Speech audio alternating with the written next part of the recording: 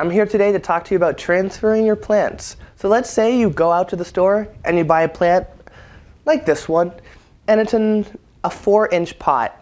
And eventually the plant starts to grow and grow and grow, and you feel like it's time to switch the plant into a larger container. So get a pot that's, I'd say to be safe, exactly twice the diameter. So let's take this eight inch pot, throw away the plastic part of this pot, fill this one halfway with dirt, plunk it in it after you take it out of the pot, fill the rest with dirt, and then water. It's not time to transfer your plant when the plant is small and just a seedling. Let's say you want to grow a plant from a seed.